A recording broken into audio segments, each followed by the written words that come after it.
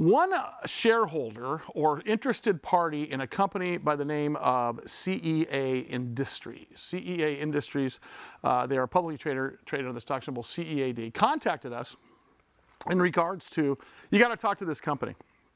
And it is a, it is a one-stop shop for cultivation. Tony McDonald is the CEO and chairman of the company. Tony, how are you, sir? Great to have you. Sorry for all the falterall. Oh, not at all. Love that sweater. Yeah. Thank you, Tony. We're sending you one. God bless as a parting, everybody. Yeah. As a parting gift. And I'm going to be in it. Yeah. Hey, I want I want you to talk to us.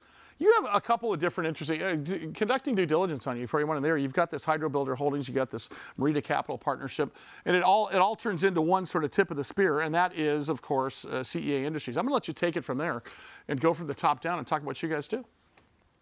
Sure. Well, we're uh, we go back to originally 2006, uh, long before cannabis was legal, and uh, so our, we're, our part of our business is we do engineering, infrastructure engineering, and equipment for indoor cultivation, and that could be cannabis or non-cannabis. The bulk of our business has been uh, serving uh, you know legal cannabis grows that are growing up around the country. So we fancy we're about the most experienced engineer uh, in the space. We do licensed uh, mechanical engineering as well as provide the equipment folks need.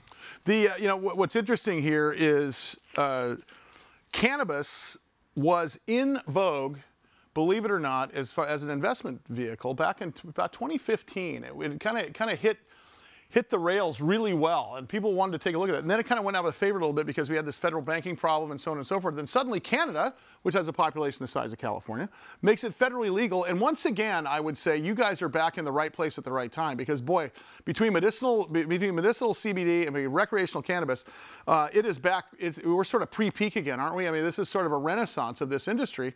At least as a consumer, uh, watching the consumer trends, boy, I'll tell you, you guys are back stronger than ever this time. You're in a good place to be right now. Well, we, we, we sure hope so. Um, you know, Canada had a great run, and uh, historically, we've done about a third of our business in Canada. That's slowed down a bit as they've kind of uh, done the bulk of their build out, but there's a long run to come in the U.S. And again, that's just on the cannabis side. We're also uh, doing stuff in uh, in the vertical uh, vertical farming uh, and indoor indoor non-cannabis grow. So that we think there's going to be a a long run of that because ultimately you're going to eat more food than we're going to need cannabis. Yeah, the uh, the the interesting part of this thing is is you have. Uh, let's talk about the businesses also uh, with with respect to uh, Merida Capital Partnership and also your your new agri. I think you call it agritecture, which is really interesting. Talk about those two things for us. Sure, these are uh, these are firms that we partner with. Merida is probably the leading uh, inve- one of the leading investors in the space. Uh, they're you know very aggressively out there uh, supporting and investing in the industry. Uh, that might be good folks for you to talk to as well. Uh, the, the guy who runs it, Mitch Baruchowitz, has got a great perspective on the industry. And then we also partner with some other folks, Agritecture, which is more on the non-cannabis side, and they've been a valuable partner in, in helping us learn about and reach out to people on the non-cannabis side. You know, Tony, when I look at this, by the way, Tony is chairman and CEO of a company called CEA Industries, and they're publicly traded under the stock symbol CEAD. If you want more information, you can go to ceaindustries.com. But you know, the more I look at this, it's an enterprise-wide solution because you got water treatment, you got marketing brand awareness, you got the capital partnership, you've got the you got the uh, the, the one-stop shop for cultivation companies. What's the plan for you guys for the next 18 months to two years as you execute the business model? Sure. Well, we want to continue to provide uh, enhanced services and broader services uh, to uh, people in the space. So we've been over the last two years, in particular, been broadening our offerings. Historically, we'd been kind of HVAC geeks, and we have real deep expertise on the environmental control side, and that's our that's our primary gig.